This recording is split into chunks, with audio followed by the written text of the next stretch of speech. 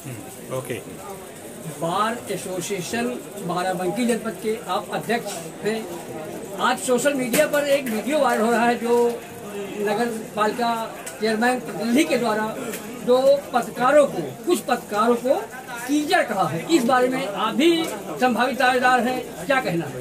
देखिए मेरा ये कहना है कि उनकी सोच हो सकती है लेकिन जहाँ तक कि मेरा सुझाव है कि माननीय चेयरमैन साहब प्रतिनिधि जी उसी कीचड़ से कमल खिला और उसी कमल से आप खिले।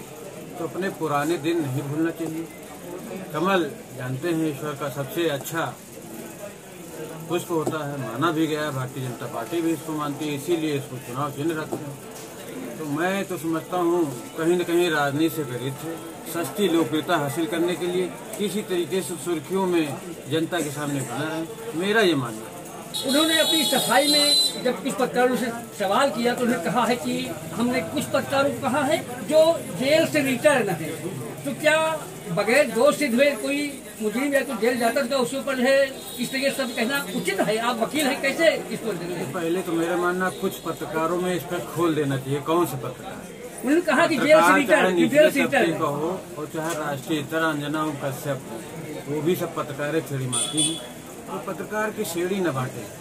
कुछ को कह करके आपने बंटवारा करा दिया भाइयों में। तो ये उचित नहीं है। कुछ पत्रकार कौन से या तो खोल देना चाहिए। मैं तो मानता हूँ पत्रकार और वकील दोनों कलमकार हैं।